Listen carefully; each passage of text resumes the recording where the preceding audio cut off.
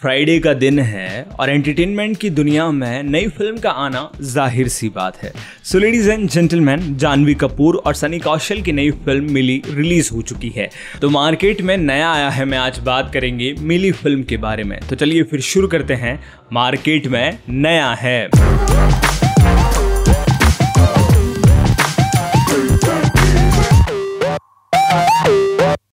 जानवी कपूर और सनी कौशल की फ़िल्म मिली रिलीज़ हो चुकी है। फ़िल्म की कहानी काफ़ी दिलचस्प बताई जा रही है। एक मिडिल क्लास फैमिली से ताल्लुक़ रखने वाली मिली के सपने बड़े हैं। मिली कनाडा जाकर अपनी नर्सिंग की पढ़ाई पूरी कर जॉब करना चाहती है ताकि वो फाइनेंशियली अपने पापा की हेल्प कर सके।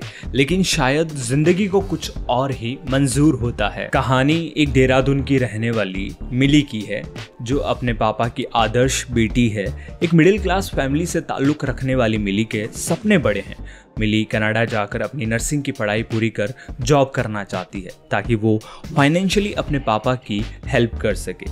फ़िलहाल एक इंश्योरेंस एजेंट के रूप में काम कर रहे पापा की मदद के लिए मिली शहर के एक मॉल स्थित फ़ूड जॉइंट में पार्ट टाइम जॉब करती है। इस बीच मिली अपने इंग्लिश की क्लास ले रही है ताकि विदेश में उसे कॉन्फिडेंस में कोई कमी ना आए। मिली चाहती है कि उसका बॉयफ्रेंड समीर, यानी कि सनी कौशल भी किसी जॉब में सेटल हो जाए, जिससे आगे चलकर शादी में कोई दिक्कत न हो। अपनी इन्हीं प्लानिंग के बीच लाइफ को बैलेंस कर रही मिली की ज़िंदगी एक नया मोड़ लेती है। जब वो बॉयफ्रेंड समीर संग ड्रिंक एंड ड्राइव केस में फंस जाती है। इस घटना के बाद मिली और उसके पापा के बीच दूरियाँ बढ़ जाती है। कहानी उस वक्त शुरू होती है जब अगले दिन वो अपनी जॉब के लिए निकलती है, काम के दौरान लेट नाइट अपने रेस्टोरेंट के कोल्ड फ्रीज़र रूम में रात को फंस जाती है। फ्रीज़र का टेम्परेचर लगभग माइनस सेवेंटी डिग्री तक पहुँच जाता है। अब क्या मिली इस जगह पर सरवाइव कर पाती है? मिली की खोज में निकले उसके पापा और बॉयफ्रेंड उस तक पहुँच पाते हैं।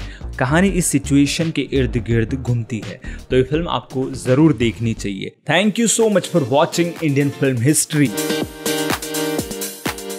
entertainment industry के लिए, इंडियन फ़िल्म हिस्ट्री की ओर से सौगात। अब मनोरंजन के लिए मिनटों तक का इंतज़ार नहीं। इंस्टेंट एंटरटेनमेंट के लिए फिल्मी शॉर्ट्स है सही। डाउनलोड कीजिए शॉर्ट मनोरंजन ऐप। अब ये उपलब्ध है एंड्रॉइड और आईओएस में।